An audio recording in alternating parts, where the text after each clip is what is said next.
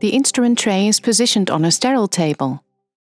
First, the required sutures are handed in a sterile manner.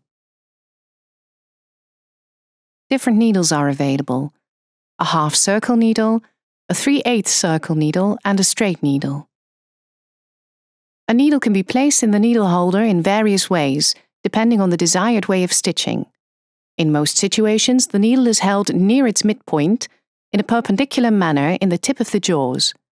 By moving the jaws of the holder near the tip of the needle, more force can be applied to it, which is useful in tough tissue.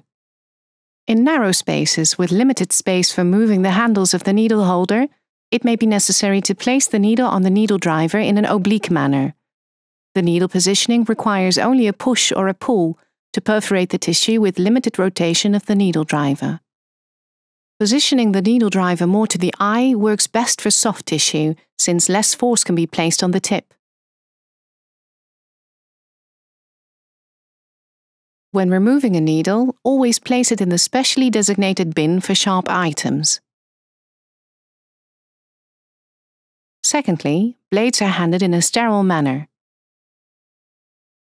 a 10 blade with a curved cutting edge, an 11 blade that is triangularly pinpointed, a 12 blade also known as the stitch cutter, and a 15 blade which is a smaller version of a 10 blade. The blade is placed with a clamp or needle driver on the scalpel holder. Removal of the blade should not be done with the fingers but with a blade remover or forceps. The base is pressed down to release it from the slot and then slid off. Multiple grips are possible. First, the pencil grip, which allows short, precise incisions. The cutting edge is smaller, limiting the depth of the incision. The fingertip grip positions the scalpel more horizontally, which allows more control during longer incisions.